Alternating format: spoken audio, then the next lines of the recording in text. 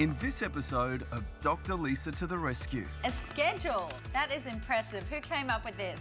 a well organised family ready to get their first dog. Who is going to be looking after the dog? Everybody. Everyone. yeah, that's what I like to hear. But they need help, I've only ever had a guinea pig and a fish that died. and Dr. Lisa's search gets off to a promising start.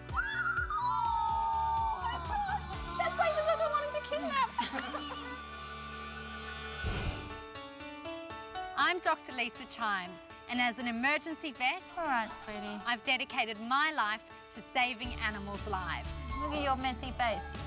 Now I'm venturing out of the hospital to raise awareness about animal welfare and give mistreated and abandoned pets a new start in life. Hey, little one. I'm going to match each orphan with a loving family, one pet at a time.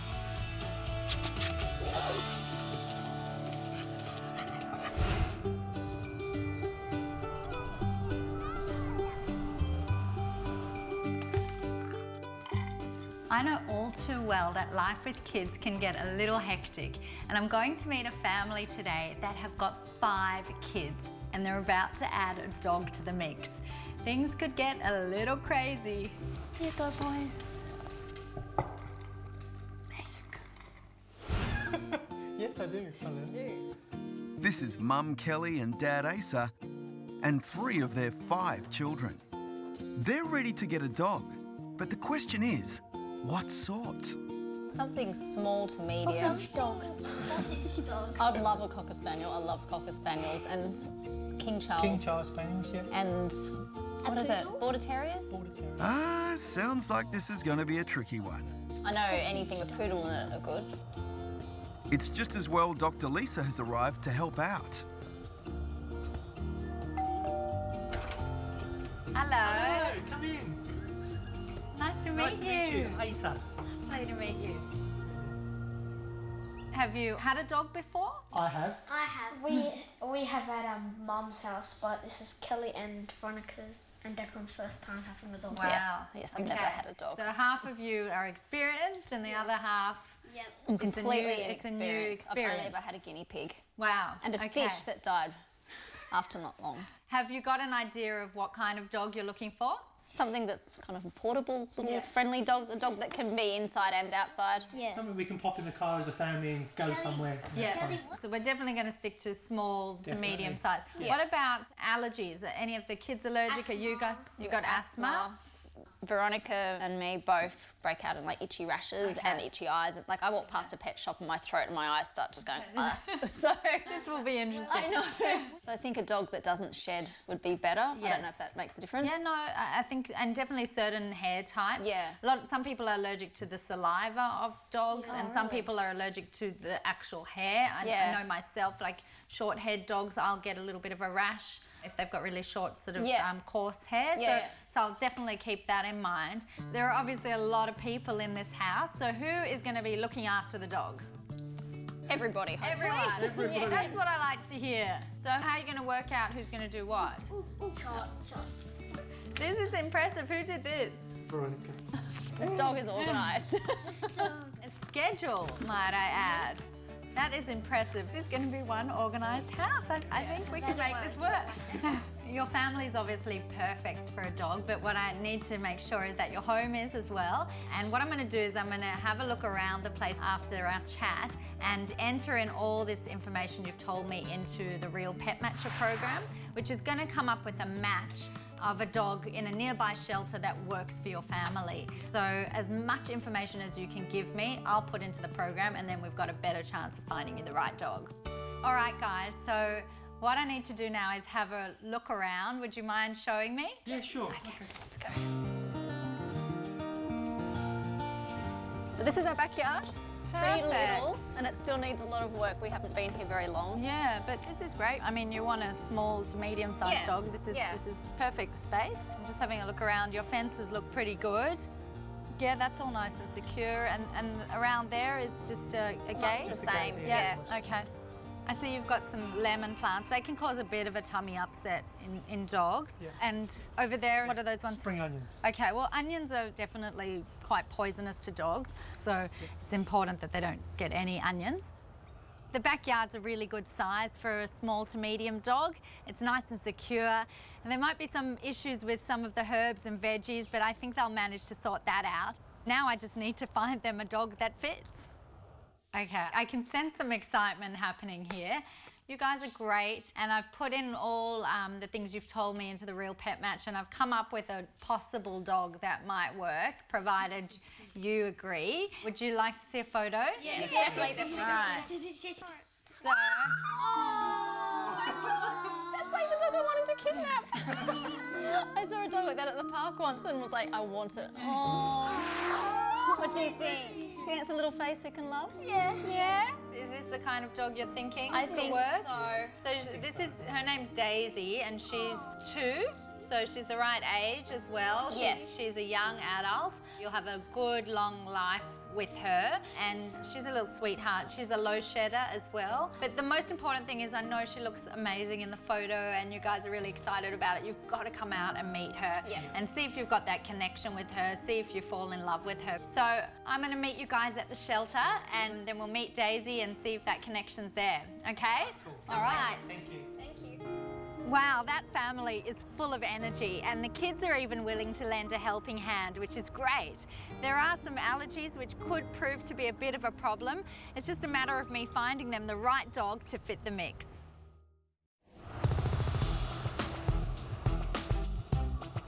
The Leslie clan is ready to adopt their first dog, and they've asked Dr. Lisa for help. Today I'm meeting the whole family, including all five children at the Animal Welfare League. Now, there are going to be a lot of opinions. I just hope they can all agree on the right dog for them. Good dog. Behaviourist Rose has lined up the first candidate. This little one could be okay, huh? So too. You're just a baby, aren't you? Yes. What's her story? This is Pepper, mm-hmm. and she is 10 months old, and she's a Beaglier, which is a Beagle. Perfect, Yeah, yeah. Beagle Cross Cavalier. Great. Great mix. Well, this family have got a lot of love to give. So Great. I'll just have a look at her, and you're a sweetheart. One issue with her might be that she sheds, and there are some allergies in the house. Oh, okay. And we'll give her a good Sure. brush before and explain that they've obviously got to brush her Yeah. outside regularly to Yeah. remove all the loose hairs. But I hope that's not a deal breaker for them. Oh, gosh. Next is Lively Poppy. Hello. Oh, Ooh, Okay, there you go. Good dog. Hop up on the table, why don't you? It's easy, save my back. Oh my goodness. Well, there's that um, working dog in you, That's huh? right, that's so right. I'm guessing border collie, cross kelpie, Yeah, something like that. That's right. That's exactly right. So this is Poppy, Yeah. and she's one year, nine months, Oh, perfect. and very, very smart, very active, Tell that. ready huh? for work. Okay, well, this yard's nice and secure. It's not a big yard, but they are going to exercise her a lot. So I think that will cover it. And check you out, honey.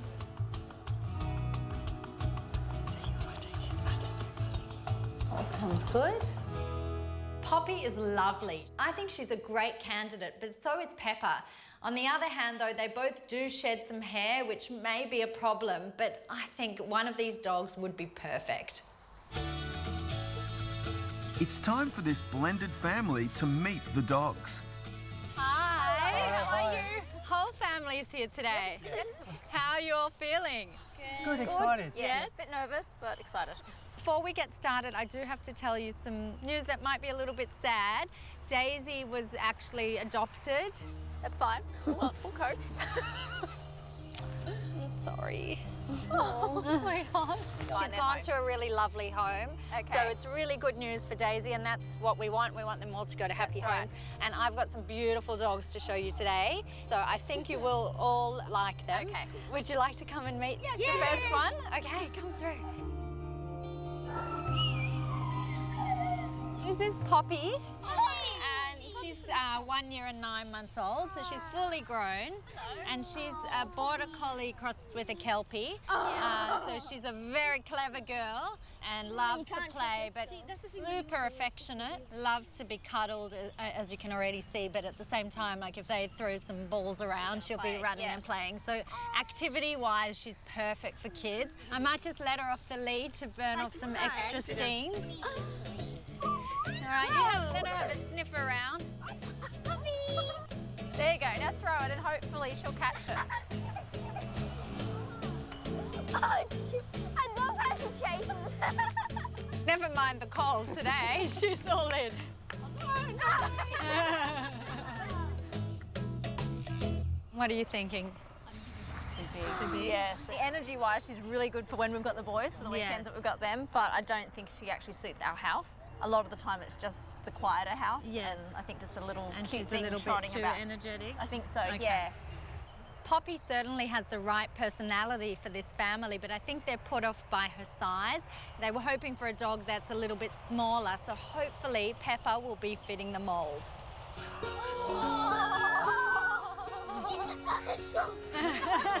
It's not a sausage dog. it's not a pug. This is Pepper.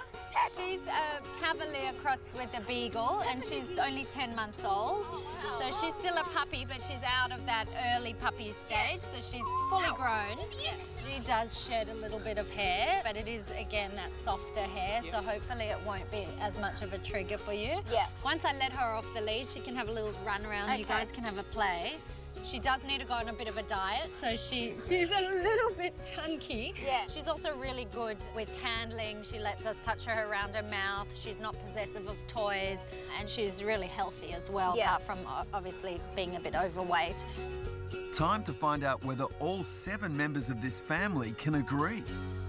Can I please have a show of hands? Who wants to adopt Pepper? Adopt it. So everybody... Is it unanimous? Oh my god, we've actually agreed on something. Considering this is a family of seven, that has to be the quickest decision I've ever seen. They fell in love with Pepper instantly. Pepper fell in love with them, loves the kids all over her. I think this is a perfect match. Pippa, Pepper, what's your name? Pippa. Pippa? It's going to be Pippa. Pippa, I think. Pippa, you're going to have a beautiful home. How good is that?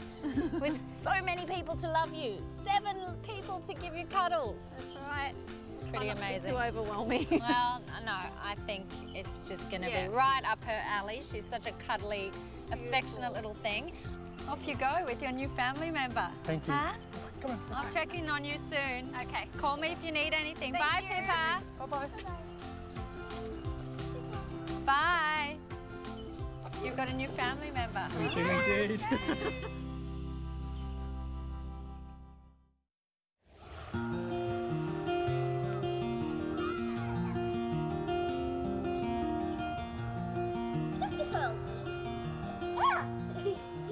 A week after going home with the Leslie family, rescue dog Pippa is the centre of attention. Everyone seems to like her company and play with her a lot, so it's been, been a good choice. Definitely the best choice. Today, Dr. Lisa is making a house call to see how Pippa is settling in. Hello. Hi, hi Lisa, come in. Pippa, Pippa, come on, darling. My goodness. Look at you. She's a unicorn. that is impressive. Hey, sweetheart. Oh my goodness. Well, I can see she's certainly very well looked after. Hey, you look amazing, Pippa. I am very impressed. Well, I want to hear about how she's been going. So, can we have a chat? Sure. Yeah. Yeah. So, guys, you've got a dog. yes, we do. We do. Tell me how it's been. Pretty good. She's um an easygoing little dog. Mm-hmm. She likes to play. She likes to sleep. She's getting lots of exercise and other kids as well. Yeah, doing lots Yes. of walking, a bit more walking than we used to do. Who's her favourite in the house? Declan. Oh, Yeah, Declan's like, like Really? her boyfriend pretty much. Oh, my goodness. Our romantic moments here and there. yeah, she's got a pretty calming effect on me. I come home if I'm in a bad mood and she cheers me up almost, you know, instantly like that. There's no doubt Pippa has settled in well. Maybe a bit too well. Tell me how you're feeding her at the moment. Just one cup mm-hmm. in the morning and Yeah. one cup in the evening at the Okay. moment. And what else is she getting during the day? very, very, very small handful of snacks, like mm-hmm. not much at all.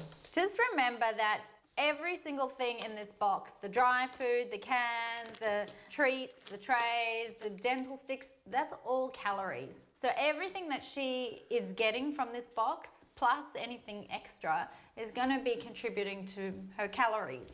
Now, do you remember what she weighed at the shelter? 14 and a half kilos. 14 and a half. 14 and a Um, I would like her to lose a couple of kilos, and I think then she'd be a much healthier body condition. And the way to do that is we need to feed her for what she should be weighing, not what she is weighing now. So she's weighing 14 and a half, and I ideally want her to say weigh 12. It doesn't sound like a lot to us, but for a dog of her size, it is quite a lot. And you have to be aware that she's going to lose that weight slowly over three to six months. For her, two and a half kilos is a large portion of her body weight, so it is going to take her some time to shed that weight. So we pick up the bag and there's a feeding guide and we need to just have a look on the feeding guide and feed her for a dog that's weighing 12 kilos. If you're going to be mix feeding her, so giving her tins and trays as well, then that's also contributing to her calories. So the good thing about this food is it does have a recommendation if you're doing combination feeding. The biggest reason why we see obesity in our pets is because we overfeed them, particularly ones with really good appetites, because they won't have an off button. They'll keep showing signs that they're hungry when often they're not. It comes from a place of love. We feed them because we love them, but in fact, it's detrimental to their health. So, long term, if we don't get her weight down, she can be prone to heart disease, it can contribute to joint disease. It can cause a whole lot of other issues for her. So it's important while she's still young, let's get her weight on track so that she'll have a long and healthy life.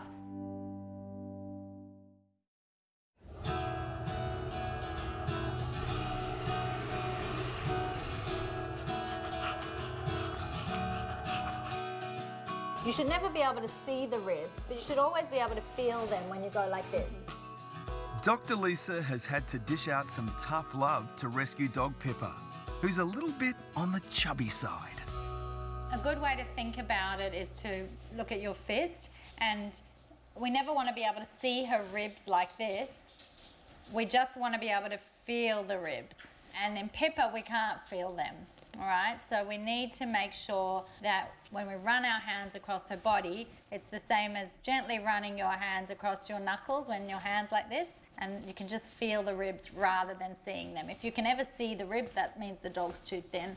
She's certainly not too thin at the moment. She's so excited. Exercise will play an important part in helping to keep Pippa's weight under control. She loves it down here, doesn't she? Yeah. It's like her own big backyard. And with five kids coming and going in this busy household, there's never a shortage of dog walkers. Bit of tugging going on there. She's still a bit too strong for her, isn't she? Just a little bit. She's off again. Yeah, it's like she's constantly smelling everything. Yeah. Okay, guys. So this is a present. Well, it's mainly for Pippa, but it's from uh, all of us to say thank you so much for adopting her from a shelter and for giving her a fresh start in your beautiful family. So who wants to open it up? Okay, everyone open it up. So this is a welcome home hamper full of lots of Nature's Gift natural food for Pippa. And I know she's on a diet, but you can feed her this and we can stick to her diet plan with this. Yeah. And there's some toys for the kids to play with her and a new lead, which will match her unicorn outfit. That's right. And I think she's going to look very stylish in She's that. a very stylish lady, little Pippi. Oh. oh, she's actually got a bowl with her name on it. How cute is that? Pippi, where are you? Look, it's your own bowl. It's your name. oh, oh, I love Dirk. Very classy. Mm. There's an envelope here, so have a look at that. Congratulations! Six months of Nature's Gift natural pet food is coming your way for your new four-legged family member. Welcome to your new home. Oh, oh thank nice. you. Thank you. That's our pleasure. You've given her a fresh start, and yeah, you've got a little bit of work to do with her diet, but if she's on a good quality food and you stick to the plan, Yes, she she'll can be shed on those rations. kilos and she'll be fine. Thank you so much. Thank My you. pleasure. And you know, if you if you've got any more questions, you can just jump on the website, and there's a whole lot of information about feeding and general care. And you know, you can always call me if you've got any questions too. And I think I'm going to leave you, my sweetheart. Thank you. See you guys. Bye, Lisa. Well, that's one happy family. Look, at one point, I wasn't sure if I would be able to find a dog to please all seven members of them, but they seem like they're over the moon, and so is Pippa. And look, she may be causing a little bit more chaos in the family, but personally, I don't think there's anything better than the sound of kids giggling with their dog. Finding your own forever pet is easy.